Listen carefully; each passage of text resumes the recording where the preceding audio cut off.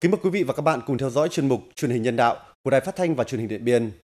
Thưa quý vị, xã Mường Pồn, huyện Điện Biên hiện vẫn còn ngổn ngang, tan hoang sau trận lũ quét kinh hoàng xảy ra vào hai tháng trước đó.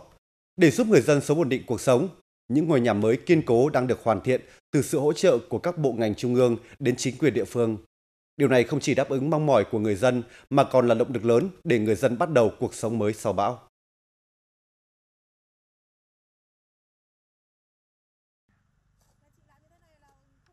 Là một trong những hộ nằm trong vùng có nguy cơ cao bị sạt lở nhà sau trận lũ quét kinh hoàng xảy ra vào hai tháng trước, gia đình chị Lò Thị Út bản lĩnh xã Mường Pồn huyện Điện Biên đã phải ở nhờ trường học gần đó. Cả gia đình chị Út luôn trong tâm trạng thấp thỏm, lo lắng, bởi nhà còn đó nhưng không dám về ở, mà xây nhà mới thì không có kinh phí. Sau khi được Bộ Quốc phòng hỗ trợ 50 triệu đồng, chị Út đã có điều kiện và cơ hội làm ngôi nhà mới để ở. Trong trận lũ vừa rồi nhà tôi cũng bị ảnh hưởng phải di rời đi chỗ khác. Trong quá trình đó được nhà nước hỗ trợ 50 triệu phải làm nhà. Nhà tôi rất vui và cảm ơn nhà nước đã hỗ trợ. Nếu không có nhà nước hỗ trợ thì nhà tôi không biết bao giờ mới làm được nhà. Khoảng một tháng nay, gần 40 cán bộ chiến sĩ, cảnh sát, phòng cháy chữa cháy và cứu nạn cứu hộ Công an tỉnh Điện Biên đã khắc phục mọi khó khăn, đẩy nhanh công tác hỗ trợ 10 hộ gia đình đã bố trí được mặt bằng làm nhà mới. Cơ bản những ngôi nhà này đã xong phần thô và đang phấn đấu hoàn thành vào giữa tháng 10 tới. Ờ, với cái nhiệm vụ chính của tôi là y tế của đơn vị, ờ, là chăm sóc sức khỏe ờ, cho cán bộ chiến sĩ để đủ điều kiện phục vụ công tác.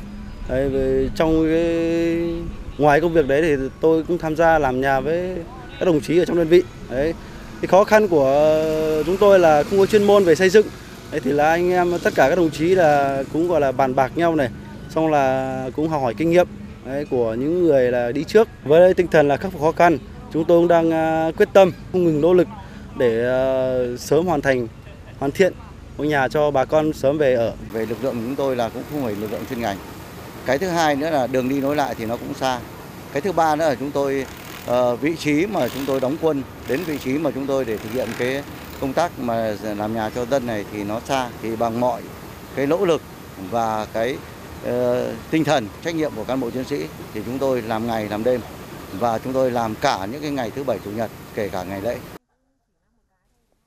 Trận lũ quét vừa qua đã cuốn trôi đổ sập và làm ảnh hưởng hơn 90 ngôi nhà ở các bản Tin Tốc, Mường Pồn 1, Hủy Ké và bản lĩnh của xã Mường Pồn, huyện Điện Biên, với gần 600 hộ dân bị ảnh hưởng sản xuất nông nghiệp. Để giúp người dân sớm ổn định cuộc sống, Bộ Công an quyết định hỗ trợ 20 hộ kinh phí làm nhà, mỗi hộ được hỗ trợ 50 triệu đồng, cộng với sự giúp đỡ về ngày công của cán bộ chiến sĩ công an. Bộ Quốc phòng hỗ trợ hơn 70 ngôi nhà, mỗi nhà được hỗ trợ 50 triệu đồng. Từ nguồn hỗ trợ này, 16 hộ gia đình của xã Mường Pồn đang khắc phục khó khăn để sớm hoàn thiện những ngôi nhà mới. Về cái khó khăn thì bây giờ cũng đã chờ kết quả của viện địa, à, địa chớp kiểm tra kết quả nên sẽ có, có kết quả thì sẽ bố trí về cái loại mới cho các hộ.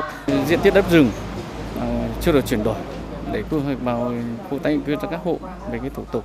Họ triển khai để các mô hình đăng ký mô hình cho các hộ để xã à, triển khai cái mô hình à, các hộ có nhu cầu đăng ký nuôi gà. Sau trận lũ quét, cuộc sống phía trước vẫn còn bộn bề khó khăn thách thức song với sự vào cuộc của cả hệ thống chính trị, sự hỗ trợ giúp đỡ của các mạnh thường quân, cả về vật chất lẫn tinh thần, đó sẽ là động lực để bà con nơi đây vực dậy, vươn lên để ổn định cuộc sống lâu dài.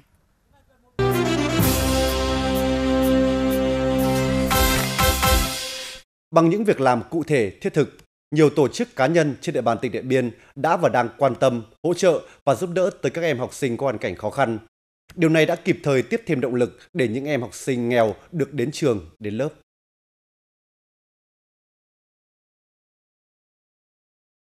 Em Vì Thị Ngọc Mai, bản Bánh, xã Thanh Yên, huyện Điện Biên đang học lớp 8 gần nhà. Em có hoàn cảnh vô cùng đáng thương. Bố mất, mẹ bỏ đi lấy chồng khác. Từ nhỏ em đã ở với bà nội.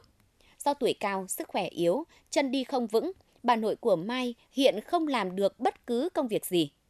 Căn nhà đang ở của hai bà cháu cũng rột nát tứ tung. Khó khăn là thế, Mai vẫn quyết tâm đến trường để học, với suy nghĩ học mới có cơ hội để thoát nghèo, hết khổ. Thấu hiểu hoàn cảnh đáng thương đó, đoàn thanh niên xã Thanh Yên đã kết nối kêu gọi các mạnh thường quân hỗ trợ giúp đỡ hàng tháng cho hai bà cháu. Với những nhu yếu phẩm cần thiết như gạo, mì tôm, đường, mắm, đã giúp hai bà cháu giảm được rất nhiều nỗi lo trong sinh hoạt hàng ngày. Và đình nhà con rất là khó khăn, con ở một mình với bà thôi. Hàng tháng thì các cô chú ở xã đến trao quà cho con với bà. Thì cái số quà đấy nó con với bà thì ờ, đủ đủ dùng hàng tháng. Bà con không phải suy nghĩ nhiều để con giúp con yên tâm học tập. Em Nguyễn Quốc Huy, bản Phú Yên, xã Thanh Yên, huyện Điện Biên cũng có hoàn cảnh đáng thương như thế. Từ ngày bố đi chấp hành án phạt tù cũng là lúc mẹ bỏ đi biệt xứ. Hai anh em Huy ở với bà nội. Do không có ruộng vườn, để có tiền nuôi cháu ăn học, bà nội Huy đang đi chạy chợ bán rau cả ngày. Thời gian gần đây, cuộc sống của ba bà cháu Huy cũng đỡ vất vả hơn trước khi được các mạnh thường quân hỗ trợ nhu yếu phẩm sinh hoạt. Nhà cháu thì rất là khổ, sống hàng ngày thì bà đi bán rau để nuôi cháu. Bố mẹ thì bố thì đi trại và mẹ đi đi làm ạ. Cháu thì phải cố gắng học nốt nốt cấp 3 này giờ cháu kiếm việc làm ổn định. Cháu nuôi gia đình nữa. Thanh Yên là xã có tỷ lệ hộ nghèo cao, vì thế nhiều em học sinh có cuộc sống vô cùng khó khăn thiếu thốn. Từ sự kết nối của đoàn thanh niên xã Thanh Yên, nhiều em nhỏ có hoàn cảnh khó khăn đã được các mạnh thường quân hỗ trợ, nhận nuôi hàng tháng. Điều này đã và đang là động lực rất lớn giúp các em nhỏ yên tâm đến trường đến lớp. Thực hiện ờ, sự chỉ đạo của Đảng ủy, Hội đồng dân, Ủy ban nhân dân xã thì tìm mọi nguồn lực ờ, để giúp đỡ những hoàn cảnh khó khăn trên địa bàn xã Thanh Yên. Thì đoàn xã đã kết nối với chị Nguyễn Mai và chị Nguyễn Hoài câu lạc bộ nuôi em thì cũng giúp đỡ xin và kêu gọi giúp đỡ được 9 ờ, em học sinh có hoàn cảnh khó khăn trên địa bàn xã. Thì từ những hoạt động này thì cũng mong muốn là những mạnh thường quân trong và ngoài xã thì luôn luôn là kết nối với đoàn xã để tạo mọi điều kiện giúp đỡ những hoàn cảnh khó khăn trên địa bàn xã. Mỗi tháng một lần, chị Giàng Thị Chu, Hội Liên hiệp Phụ nữ huyện Nậm Pồ đều mua nhu yếu phẩm đến để hỗ trợ cho ba chị em Thào Thị Xanh, bản Huổi Đáp, xã Nà Khoa, huyện Nậm Pồ. Ba chị em Xanh có hoàn cảnh vô cùng khó khăn. Bố mất sớm, mẹ đang chấp hành án phạt tù. Ba chị em Xanh nương tựa vào nhau để sống. Có sự giúp đỡ của hội phụ nữ thì cuộc sống của bọn em cũng khá lên là đỡ khó khăn hơn. Để giúp cho những em học sinh có hoàn cảnh khó khăn trên địa bàn, trong thời gian qua, chị Giàng Thị Chu đã chủ động kết nối kêu gọi các mạnh thường quân trong và ngoài tỉnh hỗ trợ, nhận nuôi đỡ đầu 73 em có hoàn cảnh khó khăn ở các xã trong huyện. Mỗi tháng các em được nhận nhu yếu phẩm thiết yếu với số tiền từ 500.000 đồng đến 1 triệu đồng. Hoạt động ý nghĩa này đã kịp thời động viên, chia sẻ và phần nào giúp các em học sinh cải thiện cuộc sống. Đối với bản thân tôi thì ờ, cái chương trình ờ, mẹ đỡ đầu này là một chương trình rất là có ý nghĩa với ờ, và với mong muốn là đóng góp một, đóng góp được một sức nhỏ bé để đến với à, các bé có hoàn cảnh đặc biệt khó khăn để các em có động lực hơn nữa trong cuộc sống và trong tương lai. Đối với kỳ thi tốt nghiệp trung học phổ thông năm 2024 vừa qua, để hỗ trợ động viên tinh thần, đảm bảo sức khỏe cho các em học sinh, huyện đoàn Nậm Pồ đã phối hợp với Hội Liên hiệp Phụ nữ huyện huy động hơn 200 đoàn viên thanh niên, hội viên tham gia tổ chức nấu gần 4.000 suất cơm miễn phí để tiếp sức mùa thi cho các em học sinh tham gia kỳ thi quan trọng này. Để có tiền mua thực phẩm, ngoài sự đóng góp của cán bộ công chức, viên chức, đoàn viên thanh niên, hội viên trong huyện, còn có sự chung tay hỗ trợ của các mạnh thường quân trên địa bàn tỉnh Điện Biên. Tại cái ờ, đợt ờ, thi ờ, trung học phổ thông quốc gia thì đã tổ chức chương trình tiếp sức mùa thi nấu những suất cơm, phát những suất cơm miễn phí cho các thí sinh trong hai ngày thi. Ngoài cái ờ, hoạt động ờ, tiếp sức, chương trình tiếp sức mùa thi thì trong thời gian vừa qua thì huyện đoàn cũng đã chỉ đạo các cơ sở đoàn tổ chức triển khai thực hiện các công trình phần việc thanh niên nhằm hưởng ứng phong trào thêm việc tốt mỗi ngày cụ thể như là cái ờ, các chương trình an sinh xã hội đền ơn đáp nghĩa với các phong trào xây dựng nông thôn mới. Năm học 2024-2025, trường Trung học phổ thông huyện Điện Biên hiện có hơn 1.000 em học sinh, trong đó có rất nhiều em học sinh có hoàn cảnh gia đình đặc biệt khó khăn, đang đứng trước nguy cơ phải bỏ học giữa chừng. Xuất phát từ thực tế đó, để động viên và tạo động lực cho học sinh yên tâm đến lớp, trong những năm qua, trường Trung học phổ thông huyện Điện Biên đã triển khai nhiều cách làm khác nhau để huy động giáo viên cũng như các nguồn lực xã hội quan tâm, chăm lo và hỗ trợ cho học sinh nghèo. Ờ, về phía nhà trường thì tri bộ ban giám hiệu chỉ đạo ờ, các ờ, đoàn thể cũng như là tổ chức tri hội chữ thập đỏ nhà trường quyên góp vận động các thầy cô giáo, các em học sinh trong nhà trường cũng như các mạnh thường quân quan tâm hỗ trợ giúp đỡ các em học sinh những xuất quà để các em bớt giảm bớt những khó khăn trong cuộc sống hàng ngày. Không chỉ có vậy, nhà trường cũng như các thầy cô giáo đã tích cực kết nối kêu gọi các tổ chức mạnh thường quân trong và ngoài tỉnh giúp đỡ, hỗ trợ những em học sinh nghèo vượt khó yên tâm đến trường. Nhờ đó, nhiều em học sinh có hoàn cảnh khó khăn đã được tiếp thêm nghị lực để vươn lên học tập. Nhiều em đã đạt thành tích cao trong các cuộc thi học sinh giỏi cấp tỉnh. Cái công việc này uh, vất vả thì là chỉ là giai đoạn đầu mình đến nhà học sinh cùng với các nhà tài trợ để khảo sát cái ờ, cái cái điều kiện của các em điều kiện hoàn cảnh của các em thôi còn uh, mình làm cái chương trình này 10 năm rồi thì mình thấy là uh, thấu hiểu hoàn cảnh của các em và mình cũng rất vui khi được đồng hành cùng với chương trình tủ sách cầu vồng trong những năm qua gia đình em Lò Hồng Quyên lớp 12, trường Trung học phổ thông huyện Điện Biên có hoàn cảnh gia đình rất đáng thương. Bố mẹ ly hôn, mẹ đi lấy chồng khác, không có nơi nương tựa, bốn chị em Quyên về ở với bà ngoại. Do tuổi cao sức yếu, bệnh tật nhiều, bà ngoại không còn sức khỏe lao động.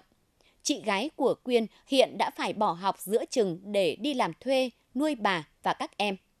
Nhận thấy hoàn cảnh khó khăn của gia đình em Quyên, nhà trường đã kết nối với quỹ tủ sách cầu vồng hỗ trợ 500.000 đồng mỗi tháng cho em. Nhờ sự hỗ trợ đó, gần 2 năm nay em Quyên đã có kinh phí để trang trải cho việc học tập của mình. Từ, từ nhỏ thì chỉ có bà nuôi bốn chị em thôi, bà thì cũng già ốm yếu rồi nên là cũng không tạo ra thu nhập cho gia đình nữa. Thì mỗi ngày đi học về thì em giúp bà lấy củi trồng rau xong là nuôi gà nuôi vịt để kiếm thêm thu nhập. Và mỗi tháng thì em được nhận ờ, học bổng của túi sách cầu vồng mỗi tháng là 500.000 đồng thì em rất vui. Và số tiền đó em dùng để nộp tiền học. Xong rồi mua xăng xe để hỗ trợ đi học hàng ngày và em mong muốn là từ cái học bổng túi sách cầu vồng đấy em sẽ nỗ lực học tập nhiều hơn nữa và em mong muốn em muốn trở thành một cô giáo. Em Lò Thị Linh Phương, lớp 12 trường Trung học phổ thông huyện Điện Biên được nhận hỗ trợ 500.000 đồng một tháng từ quỹ tủ sách cầu vồng bắt đầu từ tháng 2 2024. Số tiền này tuy không lớn đối với nhiều người nhưng lại rất có giá trị đối với hoàn cảnh khó khăn như gia đình em Phương. Hàng năm, trường Trung học phổ thông huyện Điện Biên đều thực hiện khảo sát lập hồ sơ địa chỉ nhân đạo đối với học sinh có hoàn cảnh khó khăn vươn lên trong học tập. Từ đó có hình thức kêu gọi, kết nối và phối hợp hỗ trợ kịp thời. Các hoạt động này không chỉ ghi nhận sự cố gắng nỗ lực của tập thể sư phạm nhà trường trong công tác nhân đạo từ thiện, mà đó còn là niềm vui hạnh phúc của phụ huynh cũng như học sinh khi được nhận hỗ trợ. Nhờ cái số tiền đó mà em đã quyết tâm học tập và đạt được giải ba cấp tỉnh môn giáo dục kinh tế và pháp luật và em sẽ cố gắng học tiếp, quyết tâm nỗ lực trong học tập và em nhất định sẽ có ngành nghề trong tương lai ạ. Từ cái 500 nghìn đấy em đã giúp đỡ bố mẹ một Ờ, uh, khi nộp các khoản cho chi phí cho nhà trường và mua sách vở. Từ những tấm lòng thơm thảo, những việc làm tử tế thầm lặng và vô cùng ý nghĩa đó đang truyền tải thông điệp và kết nối tình yêu thương của cộng đồng xã hội với những em học sinh có hoàn cảnh gia đình khó khăn. Đó chính là động lực để các em học sinh yên tâm đến trường và thực hiện được những ước mơ của mình.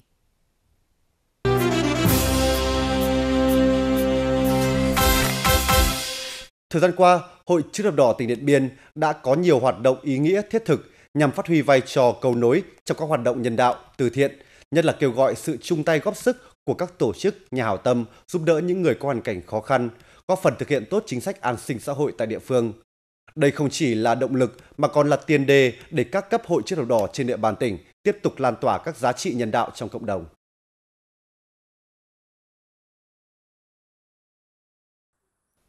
Thông qua sự kết nối kêu gọi của Trung ương Hội Chữ thập đỏ Việt Nam, nhóm chia sẻ Sharing đã hỗ trợ kinh phí 77 triệu đồng để xây bếp ăn bán chú và hỗ trợ bữa cơm có thịt cho học sinh tại điểm bản Mường Tỉnh B, C, trường mầm non Sa Dung, xã Sa Dung, huyện Điện Biên Đông. Ngoài nguồn hỗ trợ đó, Trung ương Hội Chữ thập đỏ Việt Nam còn kêu gọi bà Mai Thị Hạnh, phụ nhân nguyên Chủ tịch nước Trương Tấn Sang hỗ trợ 60 triệu đồng ông Đình Phong Phú, quận 8 thành phố Hồ Chí Minh hỗ trợ 60 triệu đồng và công ty cổ phần tập đoàn đầu tư Ngân Tín, quận Hoàng Mai, thành phố Hà Nội ủng hộ 50 triệu đồng. Công trình bếp ăn bán chú cho gần 50 em học sinh điểm bản Mường Tỉnh B, trường mầm non Sa Dung, xã Sa Dung, huyện Điện Biên Đông có diện tích 50 m2, được xây dựng theo mô hình bếp ăn một chiều, theo quy định của Bộ Giáo dục và Đào tạo. Công trình có tổng trị giá 170 triệu đồng. Công trình được hoàn thiện đã phục vụ tốt việc nấu ăn bán chú cho học sinh điểm trường.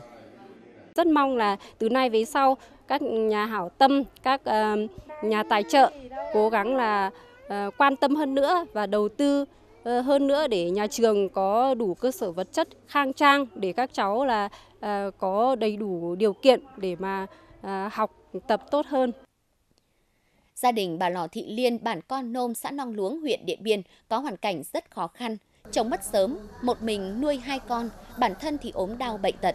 Sau khi được Trung ương Hội Chữ thập đỏ Việt Nam hỗ trợ 50 triệu đồng, bà con trong bản hỗ trợ ngày công san ủi và xây dựng. Bà Liên đã xây dựng được ngôi nhà mới khang trang để ở. Gia đình cũng không nghĩ là sẽ làm được cái nhà. Đấy, nhưng mà rất may thì ờ, cũng ờ, được sự quan tâm của bên chữ thập đỏ, của trung ương hội, của tỉnh hội, của huyện hội để cho gia đình được cái hưởng cái nhà nhân đạo. Ờ, theo cái chương trình là mái ấm nhân đạo cho người nghèo ở vùng biên cương. Theo cái hạch toán ấy, thì bây giờ cái giá trị của cái nhà này gần 150 triệu bây giờ tính ra thì bây giờ cái nhà gia đình còn đang nợ là gần 100 triệu nhưng mà bây giờ có nhà rồi ấy, thì hai con thì cũng sẽ chịu khó đi lao động trong để trang trải, trả anh em hỗ trợ nhà ở cho hộ nghèo đang là việc làm thiết thực được Hội Chữ thập đỏ tỉnh Điện Biên triển khai thực hiện nhằm tạo động lực cho hộ nghèo nỗ lực vươn lên. Trong những năm gần đây, từ nguồn vốn được phân bổ của Hội Chữ thập đỏ Việt Nam cộng với sự kết nối kêu gọi của các nhà tài trợ, tổ chức doanh nghiệp, Hội Chữ thập đỏ tỉnh Điện Biên đã hỗ trợ làm mới 32 ngôi nhà với tổng trị giá gần 1,3 tỷ đồng. Trung bình mỗi nhà được hỗ trợ từ 30 đến 50 triệu đồng. Hoạt động ý nghĩa thiết thực này không chỉ thể hiện sự quan tâm của cấp ủy chính quyền, Hội chữ thập đỏ các cấp và các tầng lớp nhân dân đến công tác an sinh xã hội, xóa đói giảm nghèo, mà còn thể hiện tinh thần tương thân tương ái của cả cộng đồng dành cho những người kém may mắn trong cuộc sống. Gia đình nhà tôi vui mừng có nhà ở nhà nước hỗ trợ cho cảm ơn đảng nhà nước. Cố gắng sẽ làm một năm một tí trả nợ. Chồng mất rồi một người bà khác ở. Nhà nước giúp bà làm nhà ở mới mới có nhà ở vui phấn khởi. Ngày xưa à, xin được, được làm nhà nó không làm được. Nhưng mà à, nhà nước giúp mới làm được. Ừ, các cháu các à, con nó giúp cho bà mới làm được. Từ đầu năm đến nay, tổng trị giá hoạt động nhân đạo toàn tỉnh đạt hơn 21 tỷ đồng, trợ giúp cho trên 50.000 người. Với những hoạt động nhân đạo ý nghĩa, thiết thực đó, Hội Chữ thập đỏ tỉnh Điện Biên đã huy động được sức mạnh của các cấp, các ngành, đoàn thể và thu hút đông hội viên tham gia. Thời gian tới, hội tiếp tục tập trung nâng cao chất lượng hoạt động của tổ chức hội, tiếp tục đổi mới hoạt động theo hướng đẩy mạnh xã hội hóa, phát huy tốt vai trò nòng cốt, cầu nối trong các hoạt động từ thiện nhân đạo để giúp những người nghèo, người yếu thế vơi đi phần nào khó khăn trong cuộc sống, góp phần thực hiện tốt công tác an sinh xã hội trên địa bàn. Thông tin vừa rồi cũng đã kết thúc chuyên mục truyền hình nhân đạo. Cảm ơn quý vị đã quan tâm theo dõi. Xin kính chào và hẹn gặp lại.